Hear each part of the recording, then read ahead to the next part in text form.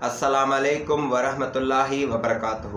دوستوں امید کرتا ہوں آپ سب خوش ہوں گے خیریت سے ہوں گے اور اللہ کے حفظ و امان میں ہوں گے۔ اور دوستوں آج ہم یہ ویڈیو دیکھنے والے ہیں تو آپ سے ریکویسٹ ہے ویڈیو کو اینڈ تک ضرور دیکھیں۔ ایسے دلائل دیں کہ سارے میلاد منائیں۔ سب سے پہلی دلیل یہ ہے اس پر لوگ چاہتے ہیں کہ میلاد نہ ہو۔ ہم حدیث پڑھ رہے ہوتے ہیں یہ کہانیاں اور واقعات سنا رہے ہوتے ہیں۔ عاشقو تم میلاد ایسے مناؤ کہ بھولے ہوئے بھی نبی کو یاد کریں۔ آپ کو پتا ہے ہمیں فل ٹاس ملے تو ہم تو پلانٹ ارتھ سے باہر چھکا مارتے ہیں۔ یہ اپنے تو اپنے اگر پرائے بھی غور کریں نا تو بات ان کو بھی سمجھ آ سکتی ہے۔ پتر چپ کر کے گفتگو سنو دھیان نہ کتاب ہے ایک نشر الطیب یہ تو کچھ اور ہی ہونے لگا ہے۔ اشرف تھانوی نے لکھی ہے۔ یہ جو نشر الطیب ہے نا یہ حضور صلی اللہ علیہ وسلم کے میلاد شریف پر لکھی گئی کتاب ہے۔ او بریلویو دیوبندی والے حدیثوں قیامت تک پٹو۔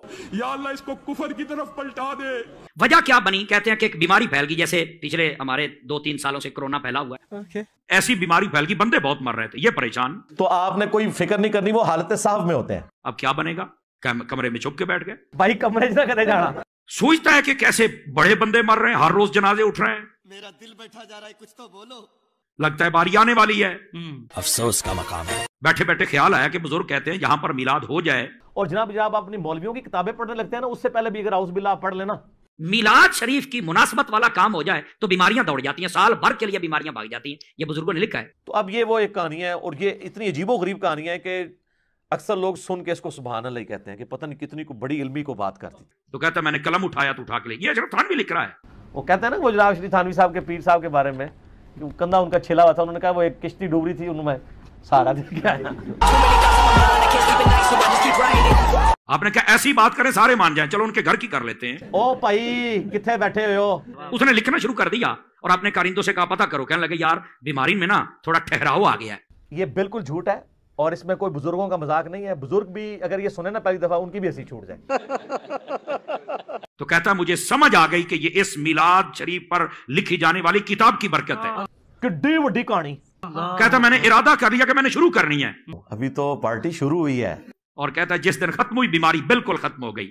بڑی ڈاڈی شاید ہے مولوی جناب ڈیمو نہیں جس طرح لڑتا جس طرح لڑ جاندے تھے۔ میں نے کہا اللہ کر کے یہ میری بات سن کے کئیوں کی بیماری ختم ہو جائے۔ تو سمجھا؟ نہیں تو سمجھا نہیں۔ چوتھی بات بڑے کمال کی ہے۔ عرض کر دئیے ہاں۔ شمامت الانبیاء نواب صدیق حسن بھوپالی۔ ٹھیک ہے۔ جی۔ یہ اہل حدیثوں کا ایک بہت بڑا بہت بڑا عالم دین گزرا ہے۔ نہ میں بابی نہ میں بابی میں ہوں مسلم علمی کتابی۔ اس نے ایک بڑے کمال کی بات لکھی شمامت الانبیاء کے اندر۔ تیرے بارے میں لکھا ہوا ہے۔ میں نے کہا یار تم نہ جلوس نکالو نہ جھنڈے لگاؤ نہ لائٹنگ کرو۔ ربیع الاول کے مہینے میں آپ نے اپنے مولویوں کی کتاب پڑھ کے سنا دیا کرو کہ یہ میلاد کے موضوع پر لکھی ہوئی باقی سارا چھوڑ دو۔ ایسے ہے سیانے ان کو پتا ہے کہ علم ہماری موت ہے۔ میٹھے میٹھے اسلامی بھائیوں۔ اٹ پٹو ایک نواں مولوی نکلتا ہے نواں مسئلہ دستا مفتی صاحب کی بارگاہ میں میرا سوال ہے کہ کیا عید میلاد النبی صلی اللہ علیہ وآلہ وسلم کا ثبوت قرآن و حدیث سے ہے؟ ٹھیک ہے جی۔ قرآن میں اللہ فرماتا ہے وَأَمَّا بِنِعْمَتِ رَبِّكَ فَحَدِّث۔ اور اپنے رب کی نعمت پر چرچا کرو۔ قرآن میں ایک مقام پہ اللہ فرماتا ہے، قُلْ بِفَضْلِ اللَّهِ وَبِرَحْمَتِهِ فَبِذَلِكَ فَلْيَفْرَحُوا هُوَ خَيْرٌ مِّمَّا يَجْمَعُونَ۔ اے محبوب، ان سے فرما دیں کہ اللہ کے فضل اور اس کی رحمت پر چاہیے کہ وہ خوشی منائیں۔ اور یہ جو کچھ جمع کرتے ہیں، یہ عمل اس سے بہتر ہے۔ یہ زیادہ بڑی جو چیزیں پوچھی جاتی ہیں۔ اس کے بعد وہ کہتے ہیں، دیکھیں جی قرآن پاک میں اللہ تعالیٰ نے فرمایا، قل بفضل اللہ وبرحمتہ فبذلک فلیفرحوا اے نبی تم فرماؤ کہ اللہ کے فضل اور رحمت ملنے کے اوپر خوشیاں منایا کرو، یہ اس سے بہتر ہے جو تم دنیا کا مال جمع کرتے ہو۔ تو کہتے ہیں اس کے تحت نبی الاسلام کی پیدائش کے اوپر ہمیں خوشی منانی چاہیے۔ کیونکہ اللہ تعالیٰ نے سورہ عال عمران میں فرمایا، لقد من اللہ علی المؤمنین اذ بعث فیہم رسولا۔ بے شک اللہ کا احسان ہے مومنین پر کہ انہی میں سے ایک رسول کو مبوس کیا، جو اللہ کی آیات ان پر تلاوت کرتے ہیں، ان کا تزکیہ کرتے ہیں۔ اور انہیں کتاب و حکمت کی تعلیم دیتے ہیں اور اس سے پہلے یہ کھلی گمراہی میں تھے۔ پھر وما ارسلنا کا اللہ رحمت للعالمین نبی الاسلام کو اللہ تعالیٰ نے سارے جہان والوں کے لیے رحمت بنا کر بھیجا۔ تو وہ کہتے ہیں کہ جی دیکھیں، جب اللہ تعالیٰ کہہ رہا ہے کہ میرا فضل اور رحمت ملے اور ایسا فضل جس پہ اللہ احسان جتا رہا ہے مومنین پر، تو اس کے ملنے پہ خوشی کرنی چاہیے۔ بالکل ٹھیک ہے۔ لیکن اگر یہ آپ آیت کا کانٹیکس پڑھیں تو یہ اسپیسیفکلی قرآن کے بارے میں ہے اسے آپ ایکسٹراپولیٹ کر سکتے ہیں نبی اسلام کی ذات کے بارے میں بھی۔ لیکن اس کا سٹارٹ یوں ہوتا ہے۔ قد جاءتکم موعظۃ من ربکم بے شک تمہارے پاس، تمہارے رب کی طرف سے ایک واضح نصیحت والی چیز آ گئی، اور ہدایت اور رحمت مومنین کے لیے یعنی قرآن۔ اور پھر آتا ہے، قل بفضل اللہ و برحمتہ یعنی قرآن کے ملنے پر خوشیاں مناؤ۔ تو جشن قرآن تو کوئی نہیں ہوتا۔ آج تک آپ نے سنا جشن قرآن سال کے بعد منایا جاتا ہو۔ ہاں جشن قرآن کی بجائے یہ کہا جاتا ہے، قرآن ڈائریکٹ نہیں پڑھنا گمراہ ہو جاؤ گے۔ اللہ قرآن میں فرماتا ہے، وما ارسلناک الا رحمتا للعالمین میرے آقا تو سارے جہان کے لیے رحمت ہیں۔ احادیث میں یہ مضمون ملتا ہے، حدیث قدسی ہے۔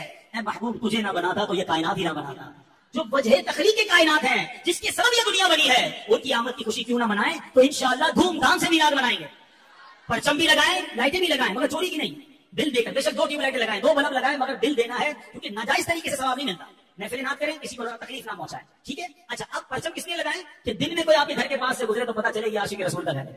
اب رہ گیا مروجہ جو طریقہ ہے، جلوس، جھنڈیاں، لائٹنگ اور وہ عربیوں والے لباس پہنے ہوتے ہیں، لکڑی کی تلواریں اٹھائی ہوتی ہیں، آپ پنڈی میں تو چلے جائیں تو وہاں تو آپ کو ایسا ایسا رنگ نظر آئے گا۔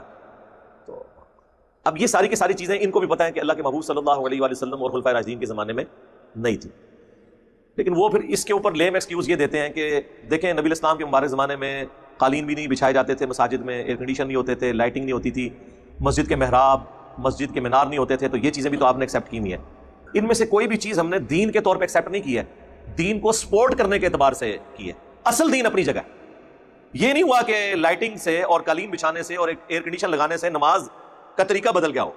کہ قیام کی جگہ رکو کرنا شروع کر دیں اور رکو کی جگہ سجدہ اور سر جو ہے وہ ہاتھ میں باندھنا شروع کر دیں۔ وہ اصل دین اپنی جگہ پہ آپ بھی منڈے کے دن کا روزہ رکھیں۔ اس روزے کو آپ کھجور سے افطار کرنا چاہتے ہیں، کریں۔ اس کے بعد آپ نے بریانی کھانی ہے۔ اگرچہ بریانی کا ثبوت نبی الاسلام کے زمانے میں نہیں ہے تو آپ کھائیں۔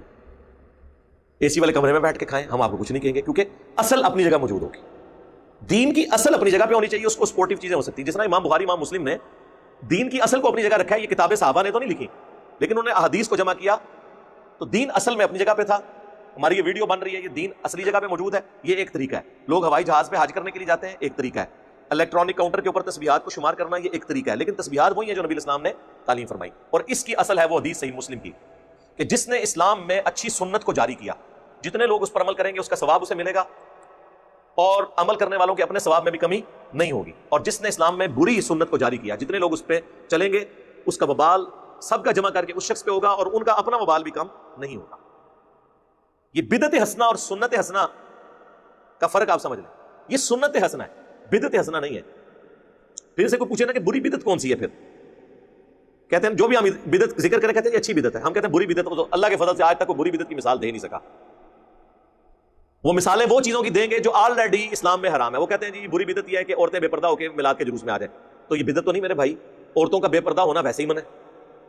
جو آلریڈی شریعت میں کام بنا ہے، ان کو کوئی پرفارم کرتا ہے، اس کو آپ بدت تو نہیں کہیں گے، وہ تو حرام کام ہے۔ تو ان کو مثال کوئی نہیں ملتی۔ بھائی بخاری مسلم میں واضح حدیث ہے، من احدث فی امرنا هذا فهو رد۔